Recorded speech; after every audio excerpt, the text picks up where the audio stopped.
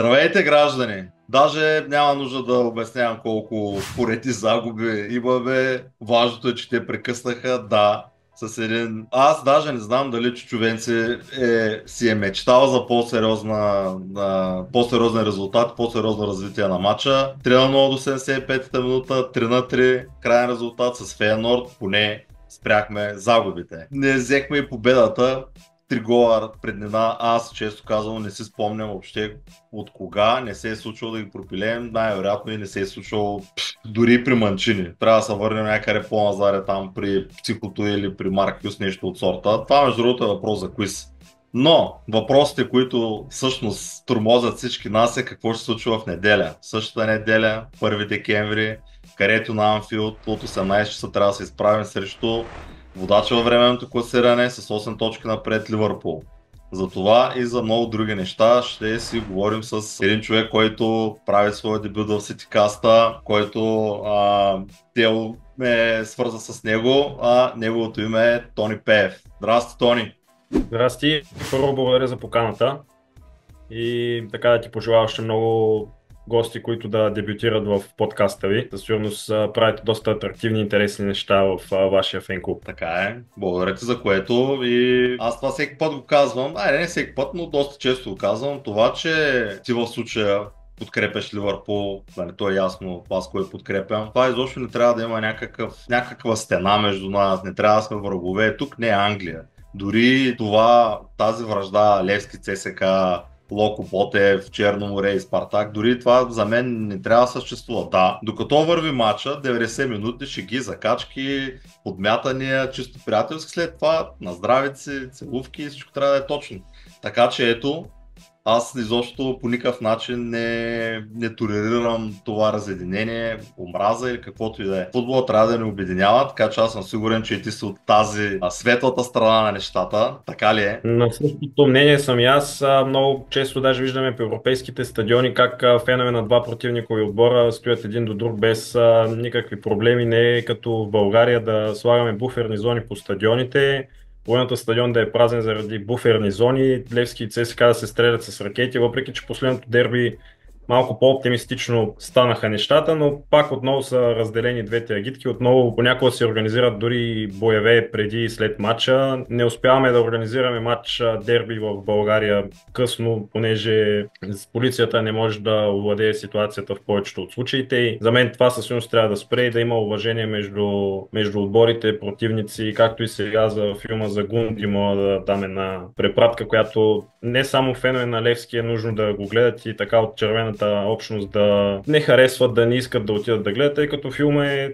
крайна сметка за всички българи, за, за това какъв футболист е имал България. Не само, разбира се, че е легенда на Левски, но все пак е българин на първо място и според мен не само левскари трябва да го гледат, цялата футболна общност и не само, тъй като филма дори не е футболен и спортен, но това е друга тема. Аз съм на същото мнение и подкрепям това, че ти самия каниш фенове на различни отбори и имат правото да, да гостуват във вашия подкаст. Кай е, трябва да бъде, в крайна сметка ние всички сме хора. Сега това, което каза Кунди, абсолютно съм съгласен с теб. Дори филмът е толкова добре направен, че до не случайно щупи всички рекорди по гледаемост и така нататък. Абсолютно не е случайно това. А, без значение дали ще си фен на дори на нито един, ако ще, дори, дори не бъди фен на футбола, но този филм трябва да го изгледа, защото има, има за абсолютно всеки го по нещо. Има една носталгия към а, комунизма, има го онова чисто на националната ни гордост, както е отказва на Мила някакви космически пари за онова време, въобще а, заплати и така нататък. Има за абсолютно всеки го по нещо. Филма супер много заслужава. Да, най-вероятно ще има и за някоя легенда, защото те не са една и две на ЦСК, която също може да направи такъв готин филм. Така че не трябва да го има това, ама да, ама аз по да го гледам оня, онова говедо и някакви такива човек. Точно, да. Има много такива изказвания, аз чета и по форуме и мои приятели, дори познати сме спорили цесекари, които точно по начина по който ти каза се изразяват за филма, но както ти казваш не е само за футболните фенове, а за цяла България филма и наистина се заслужава да, да, да се отиде да се гледа с, а, с две ръце съм за. Точно така. И виж как, още в началото започваме да, да напипваме онази, онази нишка на приятелството, но сега не знам дали знаеш или не, но а, в а, този подкаст, Ситикаста, нали, всеки един, който прави дебют, всъщност разказа своята история, защо е фен на съответния отбор, от кога, какво го е привлякло. Ти дори правиш абсолютен дебют, така че можеш да разкажеш всъщност откъде имаш тези познания така, за, за футбола като, като цяло играта в футбол въобще. С какво се занимаваш? Айде, така ще го задам въпроса. Ми, аз се занимавам с журналистика по принцип. А, уча спортна журналистика също така в Софийски университет и така от малък ми е доста интересен спорта като цяло, не само в футбола. Тренирам тенис и играя през свободното си време тук в София. От по-малък град съм от провинцията.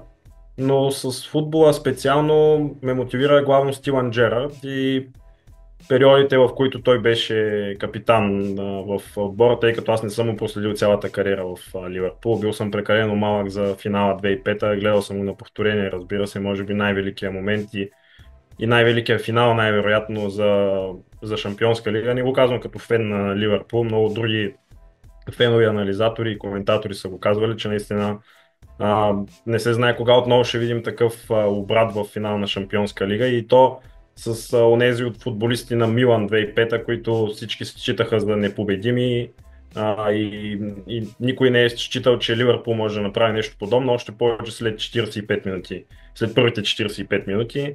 След това нали, имаше и реванша, който Милан взеха 2007 и някъде там 2008-2009 започна да гледа малко по-активно футбол а, пак казвам, най-вече покрай Стивън Джерард, като малък дори исках да изглеждам на него по външен вид, тъй като наистина ми беше любимец, великия номер 8 за, за Ливърпул, легендата на Ливърпул. Много съжалявам, че не можа да се случи така, че да играе в, под ръководството на Клоп и така и не, не можа да, да вдигне трофея от Висшата лига.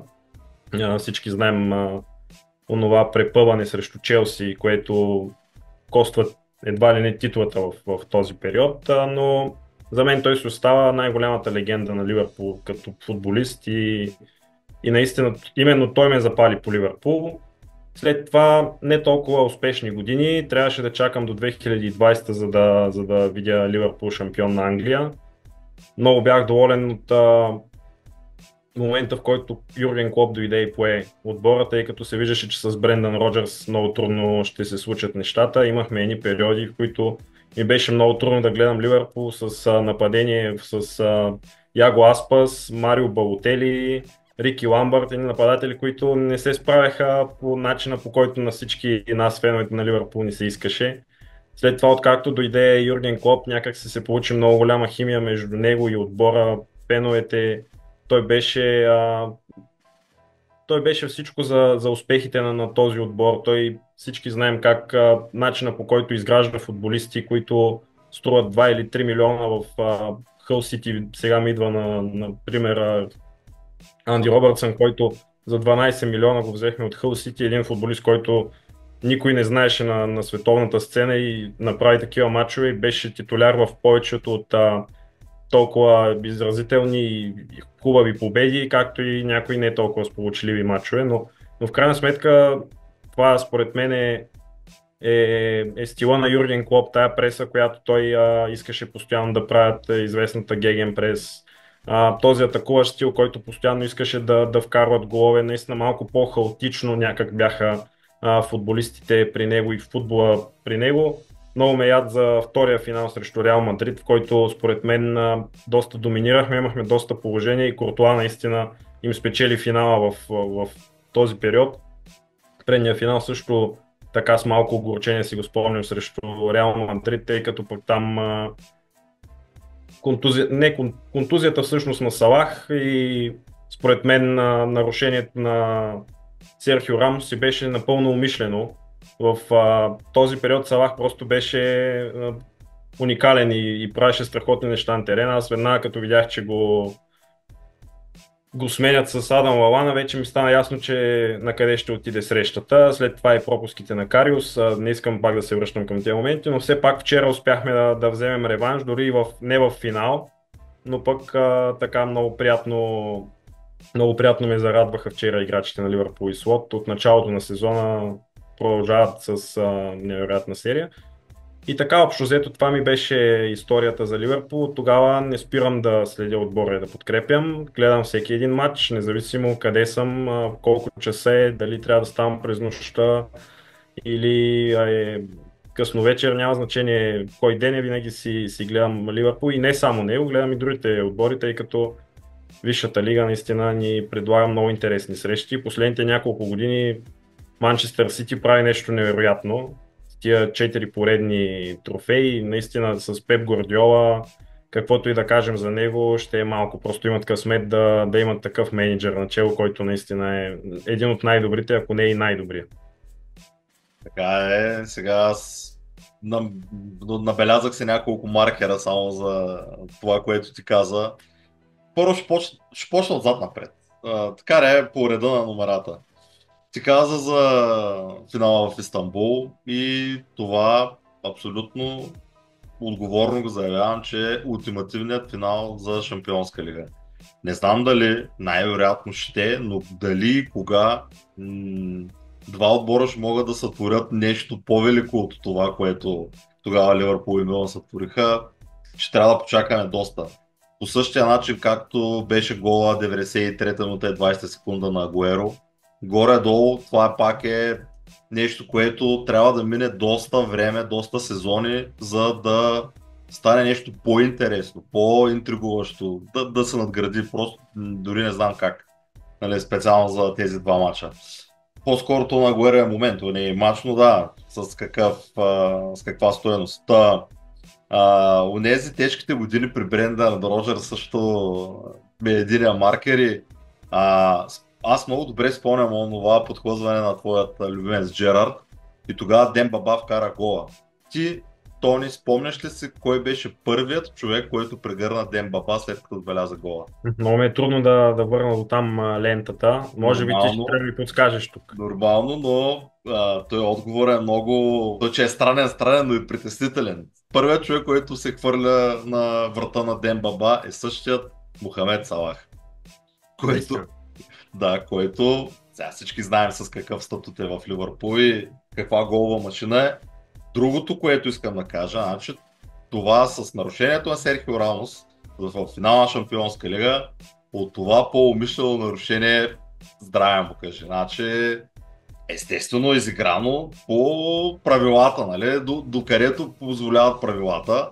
Да, реално нямаше какво повече да се случи от това смисъл. Такъв с червени картони, вар или каквото да е, просто изигра много добре.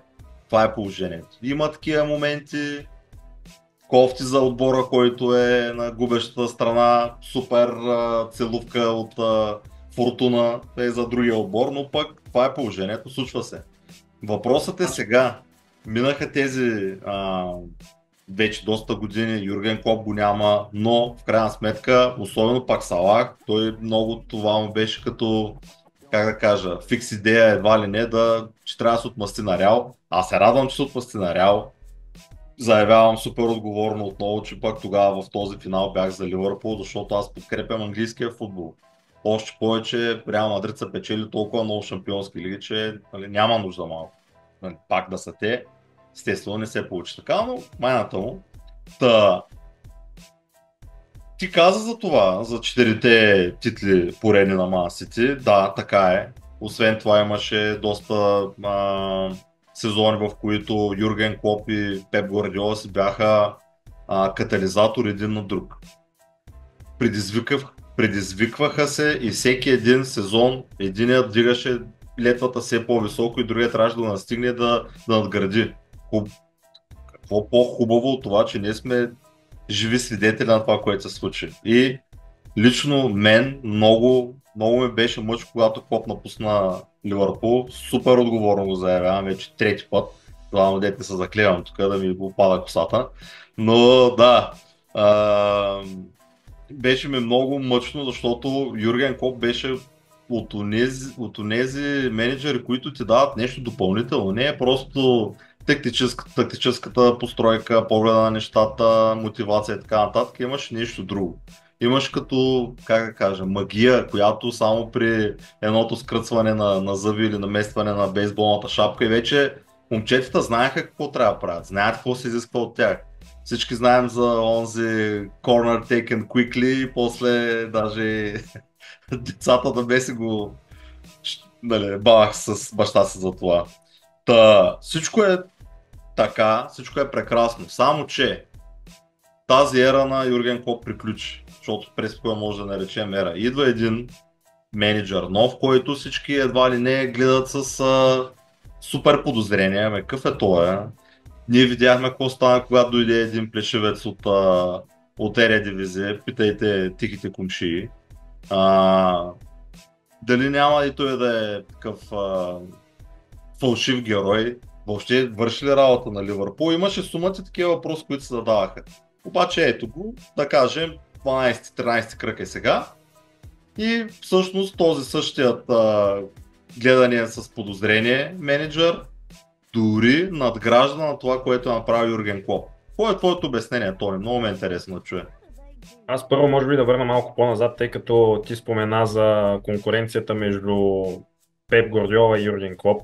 А, преди няколко дни вашия менеджер подписа нов договор и това на мен а, ми дойде приех новината много добре и много се зарадвах, защото наистина да, да има такива менеджери в Висшата лига е, е щастие за всички фенове на футбола. Независимо, че нали, менеджер на, на Манчестър Сити, наистина да, да има един такъв менеджер дори в Висшата лига е, е истинско удоволствие да се наблюдават неговите идеи, неговите тактики. Той всеки, всеки път променя нещо, дори сега ми е какво ще промени до края на сезона, тъй като неща пристинят. И съм сигурен, че ще, ще има нещо, което той ще промени и никой не знае все още какво е то.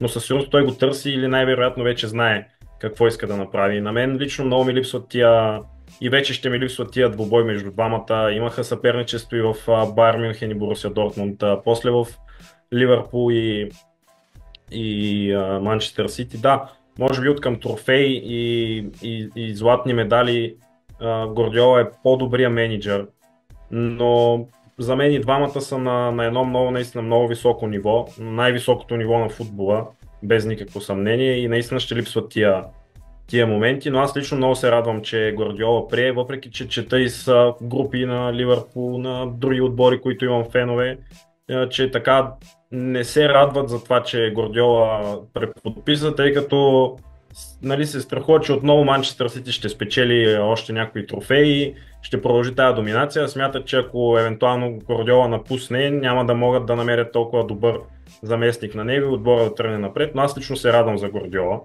Колкото до, Юр... до, до Слот, извинявай, колкото до Арне Слот, аз също бях от феновете, които леко беше скептичен а, мислех, че ще има един период на адаптация към отбора, на един период, който ще се изграждате първо отбор, както много често гледаме при а, червените от Юнайтед, както ти казваш, тихите ваши съседи.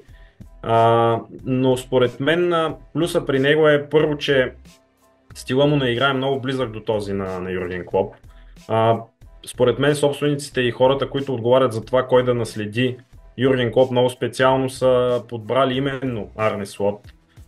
Решението на Клоп дори според мен е било още преди началото на сезона. Собствениците са знаели, че Клоп ще напусне. Още от тогава е почнало да търсят, са почнали да търсят някой негов подобен менеджер с подобен стил на игра. Той не идва с много голяма визитка. Няма нещо, кой знае какво спечелено тип финал в Шампионска лига или да води някой супер голям отбор преди Ливърпул. А, плюса, който той има е, че вече има един готов отбор от футболисти, които при Юрген Клоп много добре се познават. Повечето от тях са печелили Висшата лига, повечето от тях са печелили Шампионска лига, знаят какво е да печелиш трудни матчове, знаят какво е да губиш в такива матчове. А, хубавото е, че феновете много добре го приеха.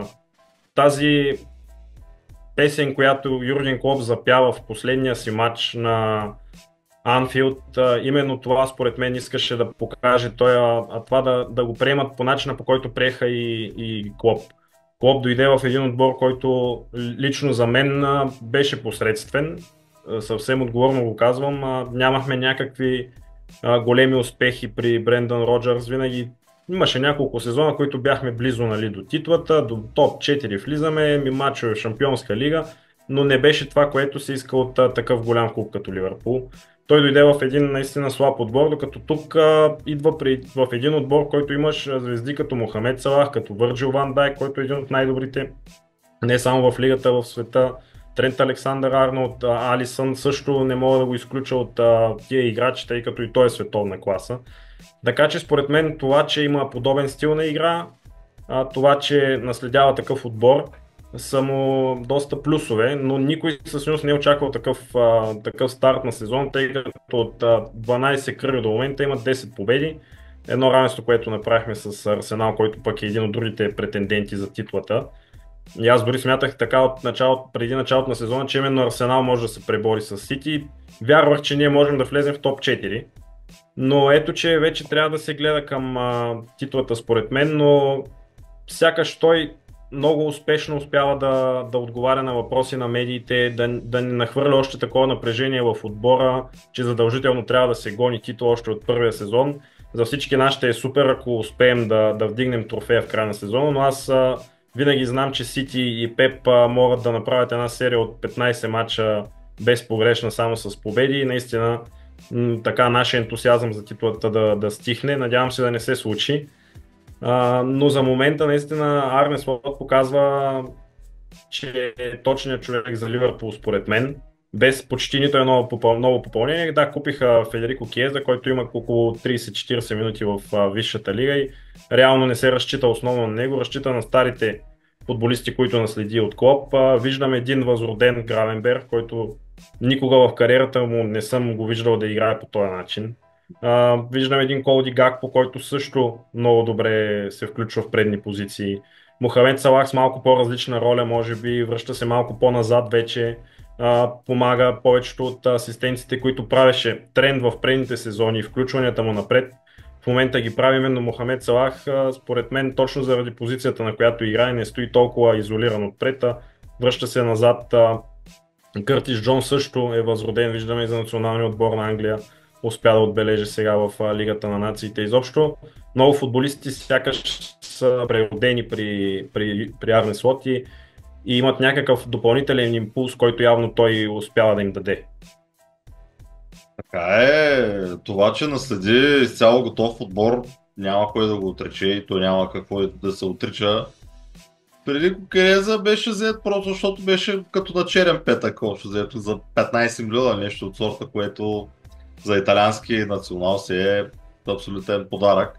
Деца вика, по-добре да го вземеш, просто да го използваш там за 5 мача през сезон, отколкото да, нали, да го нямаш в, в преди. Той сега е контузен така или иначе, но сега аз няма как да не говоря от другата страна на нещата, защото да, естествено, вие се надявате още от първия сезон да, да се завоюва трофей и така нататък.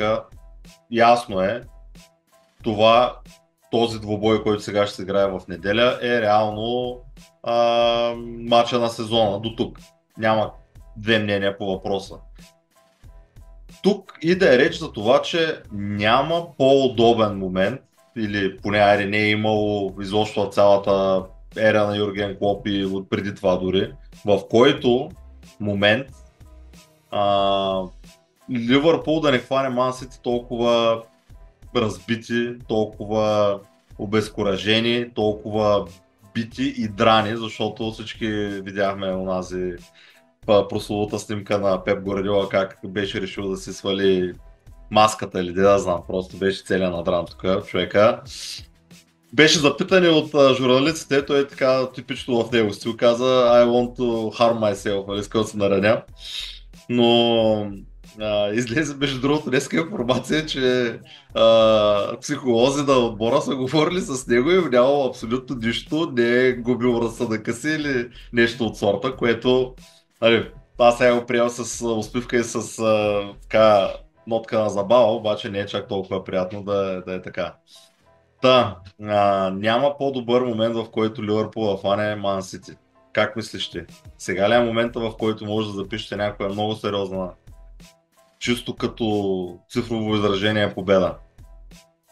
Със сигурност е така, със сигурност тия травми, които дойдоха за Сити още в началото на сезона, травмата на Кевин Дебройне, който все още така не може да се завърне на 100%, травмата на Родри, който заслужено спечели златната точка, топка, чисто според мен, направи страхотно европейско първенство с Испания, страхотен сезон с Манчестър Сити.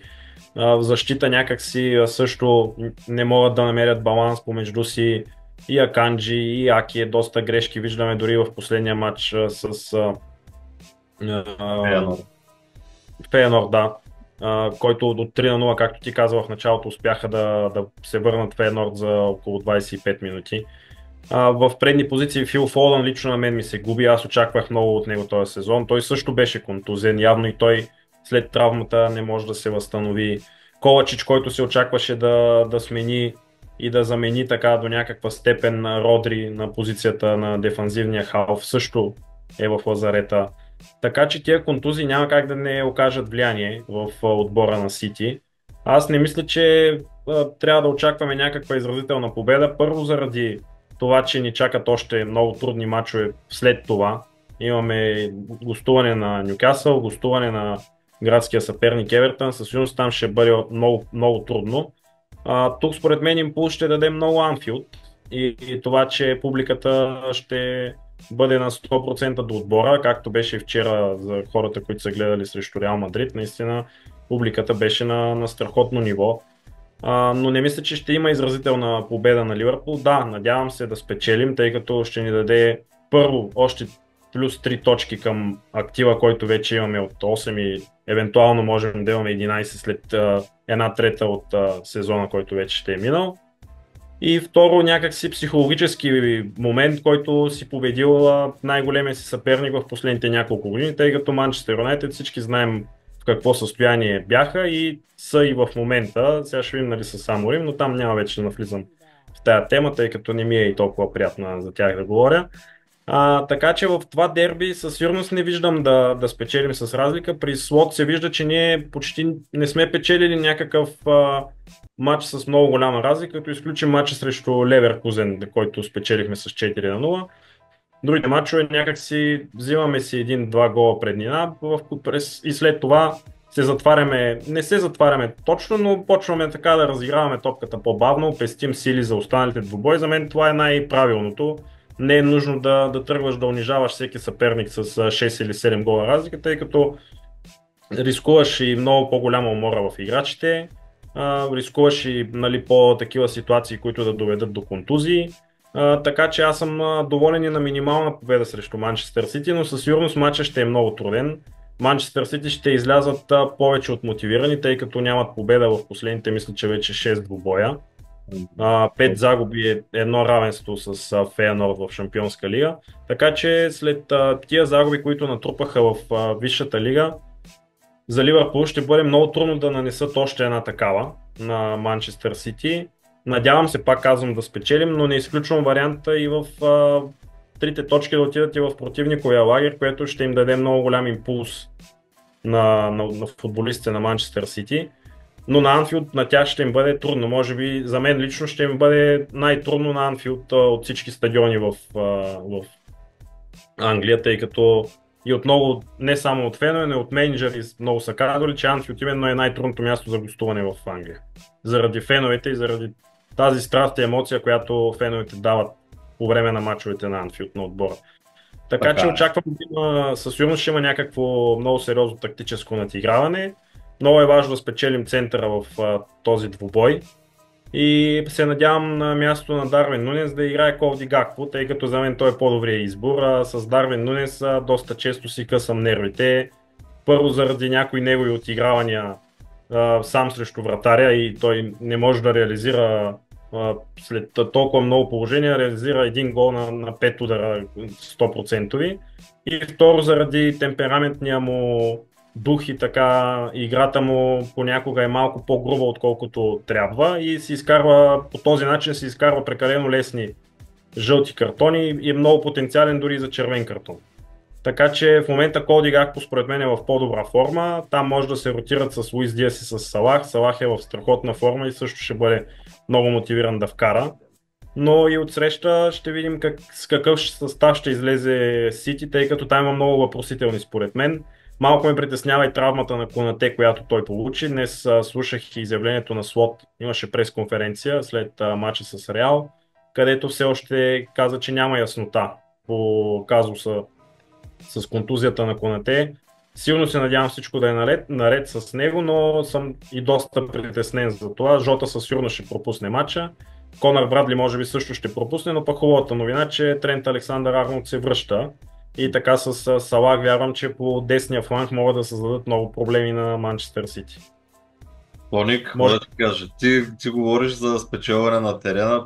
Човек, то в момента сега не знам. Е, да, не знам в каква форма са тук нашите български отбори, ама мисля, че около Догоре Стефани може да не, да не вземе Хикс. Не се шегувам.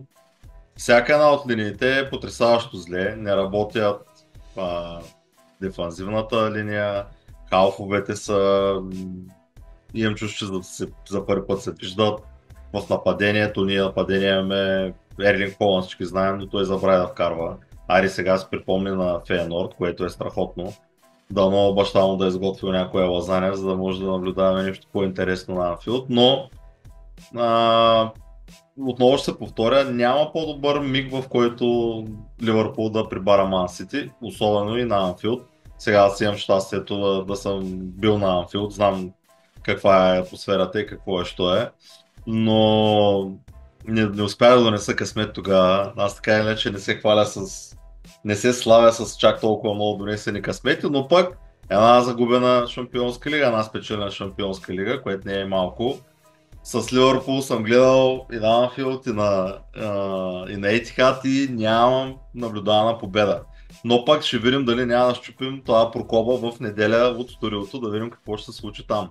Та, ако чисто хипотетично, то не е хипотетично, това е дерби. В крайна сметка абсолютно всичко е възможно. Без значение единият отбор може да е, деца вика, се бори за оцеляване, другия да се е така както сте вие с 8 точки предина напред и този, който е борещ за оцеляване да отупа и то качествено от противника си.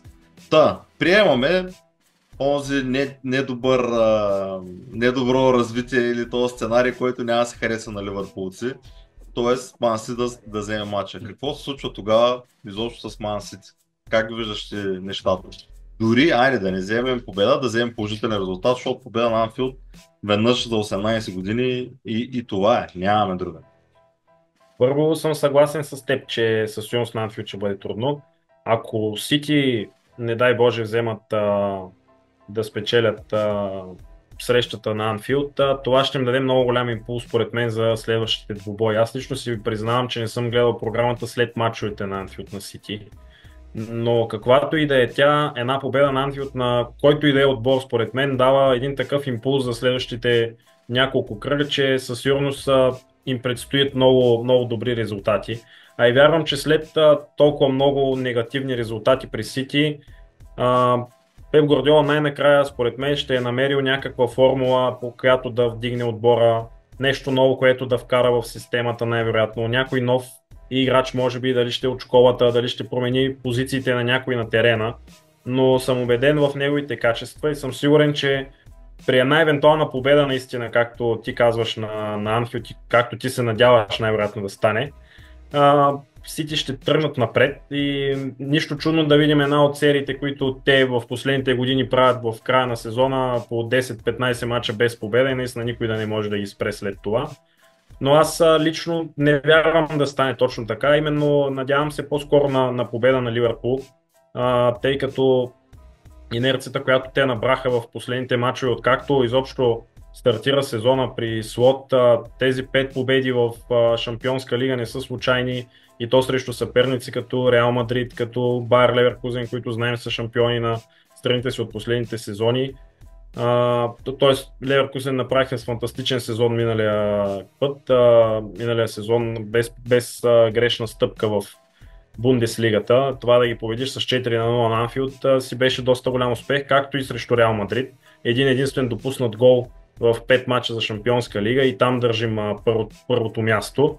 А, както и сме най-добрият отбор в защита В а, Висшата лига са само 6 допуснати гол 12 матча. Така че аз а, вярвам по-скоро, че Ливърпул ще вземе трите точки от този матч. С и... какъв резултат, Тони? Че стигнахме ами... до резултатите.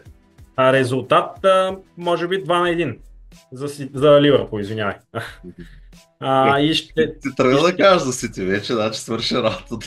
Да, и, и ще тръгне да, да гледа още по-уверено напред към а, тежките гостувания на Нюкасъл Евертен, както казах по-рано.